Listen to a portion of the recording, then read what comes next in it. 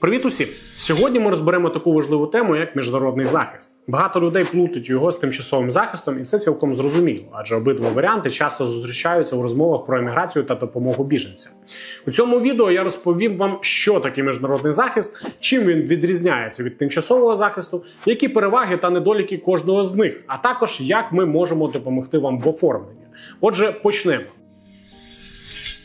Отже, що таке міжнародний захист? Це правовий статус, який надається особам, що втекли зі своєї країни через загрозу переслідування за ознаками раси, національності, політичних переконань, релігії або належності до певної соціальної групи. Він надає захист особам, які справді потребують допомоги та є більш постійним статусом ніж тимчасовий захист. Міжнародний захист надається на основі міжнародних угод, зокрема Конвенції про статус біженців з 1951 року. Тимчасовий захист, в свою чергу, це швидкий спосіб забезпечити захист для великої кількості людей, які втекли від конфліктів або катастроф.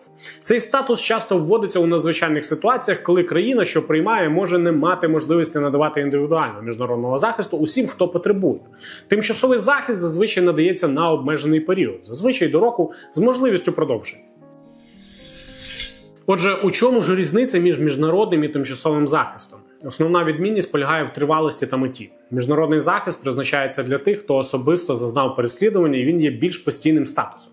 Тимчасовий захист, на відміну від нього, надається на короткий термін у разі масових переселень і не вимагає детального розгляду індивідуальних випадків. Це означає, що отримати тимчасовий захист простіше і швидше. Тепер давайте розглянемо плюси та мінуси кожного з цих видів захисту. Почнемо з міжнародного захисту. Одним з головних переваг є те, що він дає вам право на постійне проживання. Ви можете залишитися в країні стільки, скільки вам потрібно, і у вас є можливість отримувати роботу, доступ до медичної допомоги, освіти та соціального забезпечення. Крім того, у вас є права, які охороняються законом, ви не можете бути депортовані в країну, з якої втекли.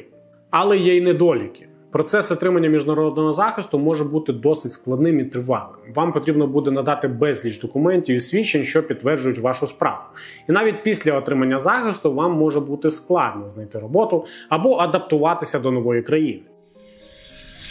Тепер розглянемо тимчасовий захист. Основний плюс це швидкість отримання. Вам не потрібно проходити тривалий процес перевірки, і це забезпечує вам швидкий доступ до житла, медичної допомоги та соціальних послуг. Тимчасовий захист також може бути продовжений, якщо ситуація в країні, з якої ви втекли, не покращиться. Але, на жаль, є й недоліки. Тимчасовий захист надається лише на обмежений період, і ви можете втратити його, якщо ваша ситуація зміниться. Ви також не матимете права на постійне проживання в країні, де отримали цей статус.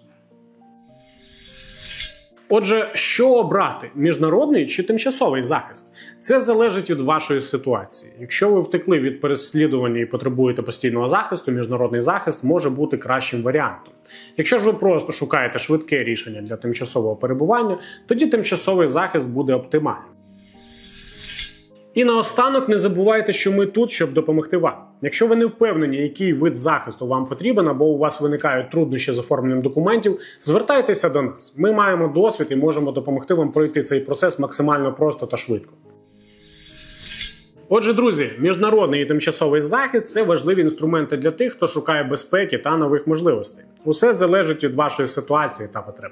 Сподіваюсь, наше відео було корисним і ви отримали відповіді на свої запитання. Дякую, що були з нами. Якщо вам сподобалось, підписуйтесь на канал, ставте лайк та діліться з друзями. До зустрічі!